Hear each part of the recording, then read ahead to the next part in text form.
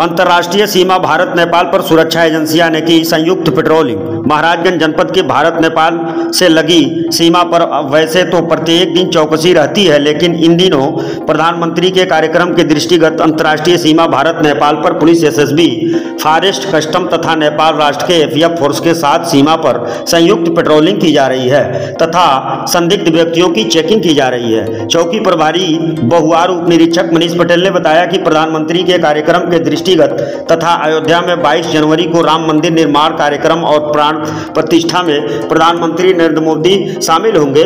कार्यक्रम को ध्यान में रखते हुए सीमा पर सुरक्षा के दृष्टिकोण से एसएसबी, फॉरेस्ट कस्टम तथा मित्र देश राष्ट्र नेपाल के एफएफ फोर्स के साथ संयुक्त पेट्रोलिंग की जा रही है। सभी सुरक्षा एजेंसियाँ सतर्क है, खासकर पगडंडियों पर विशेष निगरानी की जा रही है तथा नेपाल सीमा से सटे इलाकों के चौराहों पर भी पुलिस की पैनी नज़र है। SSB, Jhullipur, DOP ASI Raman Sharma ने बताया कि सीमा पर सुरक्षा के दृष्टिगत नेपाल से आने वाले सभी वाहन और पैदल यात्रियों की सघन तलाशी और जाँच पड़ताल बाद भारतीय सीमा में प्रवेश करने की इजाज़त दी जा रही है। जाँच के दौरान एसएसबी और पुलिस के द्वारा डाक स्क्वाड भी मदद ली जा रही है। इस मौके पर चौकी प्रभारी बहुआर मनीष पटेल, उप निरीक्षक Adhish Ajit Kumar Singh, head constable Pramod Kumar Shah, head constable Sushil Kumar Singh, head constable Randhir Rao, constable Ankit Yadav, constable Shiv Pratap Singh, constable Parkhar Kushwaha, SSB BOP Jhullipur, ASI Raman Sharma, मुख्य आरक्षी दीपक सिकरी, आरक्षी मनीष कुमार, आरक्षी बलजीत मीना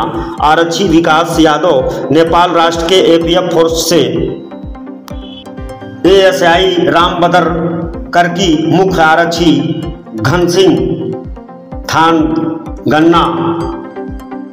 मुख्य आरक्षी दीपेंद्र बहादुर, मुख्य आरक्षी सुनील कुमार, मुख्य आरक्षी खून प्रसाद, मुख्य आरक्षी दबल सिंह बहादुर, आरक्षी हेम टाटा मगर, कस्टम निचलौल से निरीक्षक अनूप कुमार, कांस्टेबल दमरी प्रसाद सहित आदि।